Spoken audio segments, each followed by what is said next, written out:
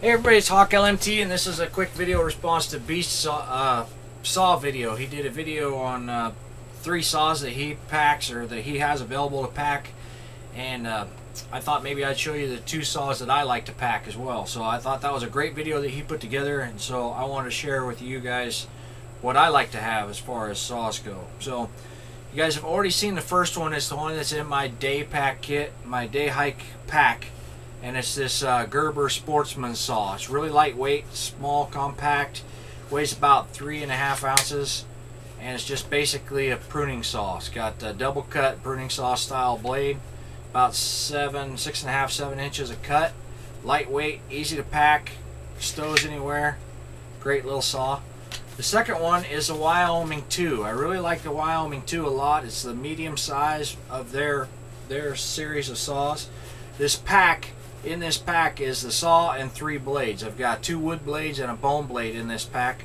weighs about 22, 23 ounces, I think. So I'll show you how this thing goes together.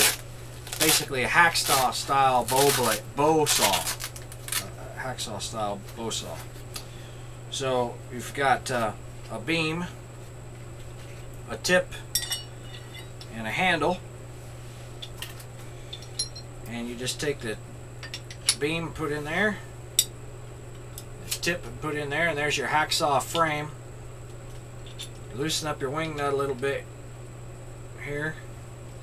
The one thing I do have stowed away in that pack too is another wing nut, just in case I lose this one.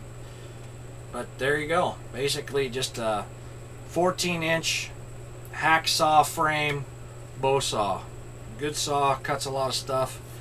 Deuce and I tried to go hiking. We, we, we went hiking and I tried to maybe shoot a little bit of video of me doing some cuts, but she's five and a half, and so she's kind of a bit of a pain in the butt as far as trying to get video shot. So I'm going to go in the back here and, and cut a couple pieces of cedar for you with these just to show you how well they cut. But these are my two favorite saws right here, the uh, Gerber Sportsman and the uh, Wyoming 2.